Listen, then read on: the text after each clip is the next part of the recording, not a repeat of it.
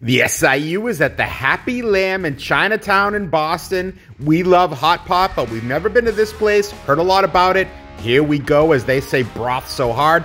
They had the sauce bar, which we love. Here's your Snack Master General's concoction, good stuff.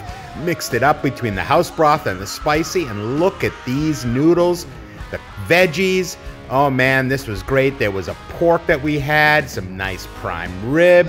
And here we go get that hot pot bubbling delicious. We even got some delicious dumplings. Look at this. Look at those noods. Look at them. 8.2.